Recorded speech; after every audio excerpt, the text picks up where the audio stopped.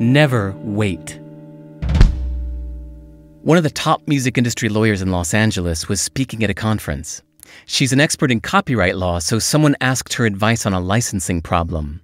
They had recorded their version of a famous song, but were unable to get the rights to sell it because they couldn't get a response from the publisher. The lawyer shocked the audience when she said, Sell it anyway. Don't wait for permission. Save the proof that you tried your best to reach them.